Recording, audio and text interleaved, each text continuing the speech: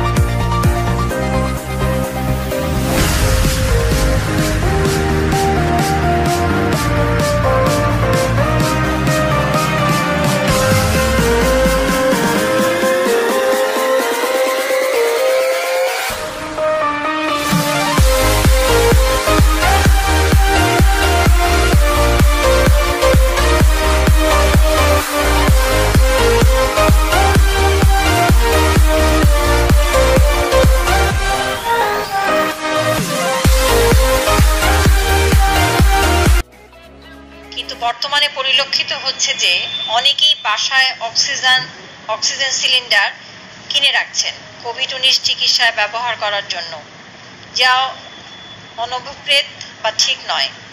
কারণ oxygen therapy একটি কারিগরি বিষয়।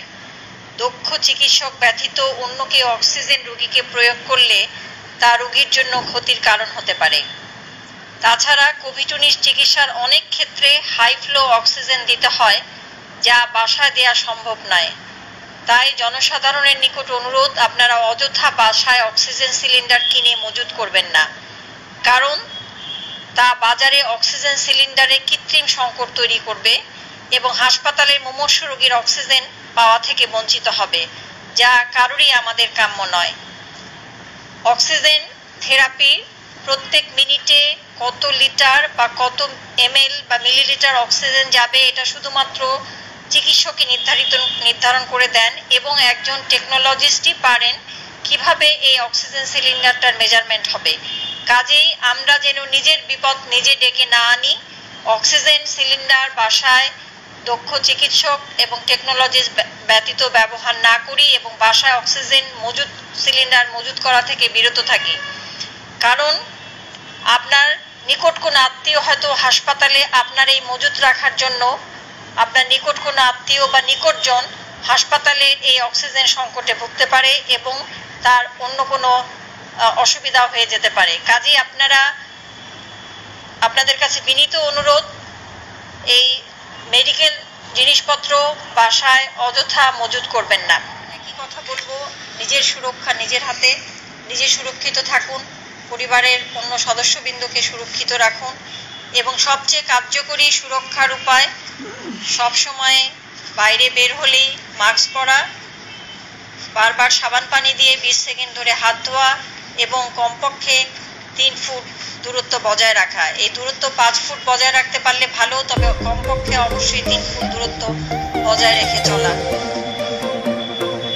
নিজের রোগ প্রতিরোধ ক্ষমতা বাড়ানোর জন্য নিয়মিতভাবে ব্যায়াম করবেন, পুষ্টিকর খাবার খাবেন।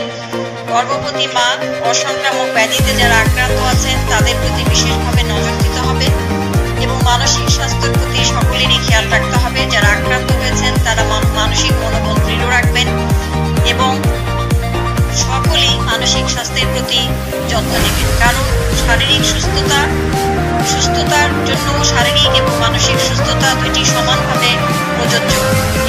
দিয়ে মানুষ